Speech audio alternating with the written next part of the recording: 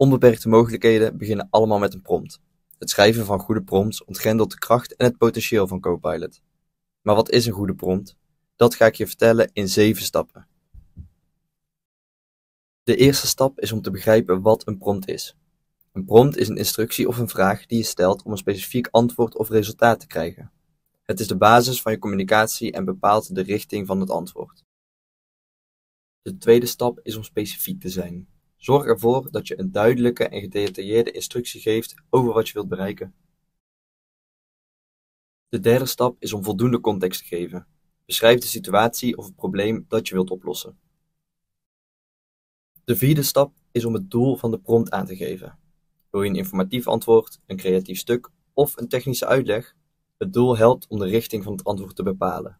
De vijfde stap is om de gewenste taal en stijl te specificeren. Moet het formeel of informeel zijn, technisch of eenvoudig? Dit zorgt ervoor dat het antwoord past bij je verwachtingen en de context waarin het wordt gebruikt.